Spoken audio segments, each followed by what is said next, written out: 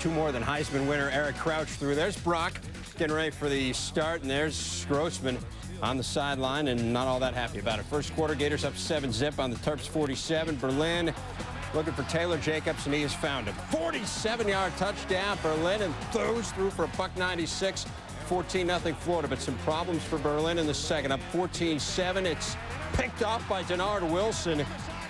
Wilson brings it back to the three. Terps had a golden opportunity to tie the game. They would get just a field goal, though, and Spurrier tells Grossman, get ready. And in comes Rex. Second quarter, second and eight. Maryland 15. Grossman, Jacobs.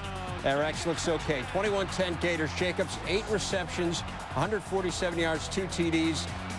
That's in the first half. Less than 10 seconds to go in the half. It is Grossman again to Jabar Gaffney. So many great receivers on this Florida team. 28 to 10 Gators as they go to the half and Spurrier's pump third quarter. Gators up 35-10. It's Ernest Graham coming off that ankle injury and goes 35 yards here, 16 carries, 149 yards for him on the game. Same drive, first and 10 from the Terps 11. Robert Gillespie, look at the athleticism. Spins once, spins again, goes in for the TD. Kind of reminiscent of Maryland's only loss earlier this year to Florida State. Florida State just had too many good athletes in Florida. Well, they're better than Florida State, and they had too many good athletes, too, in this one. Still in the third, it's 42-10 Florida.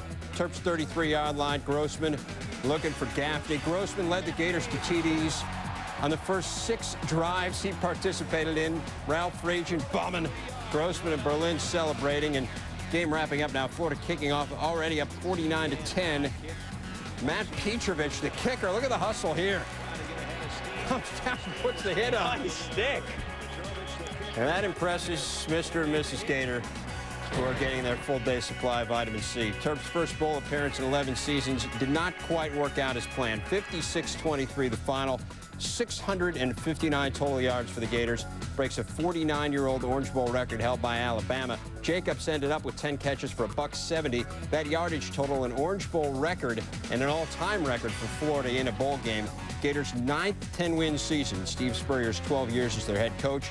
Rex talking afterwards, but not necessarily